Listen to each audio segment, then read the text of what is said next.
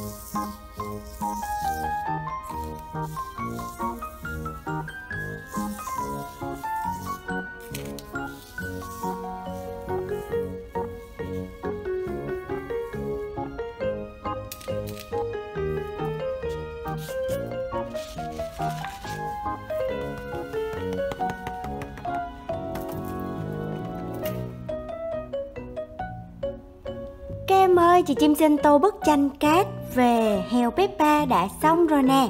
Peppa hồng, đội à, vương miện màu vàng.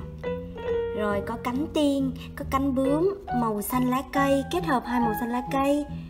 Cầm cây đũa thần, mặc váy cam rất là nhiều màu sắc được tô ở trong bức tranh cát này nè Nếu là các em thì các em sẽ sử dụng màu như thế nào?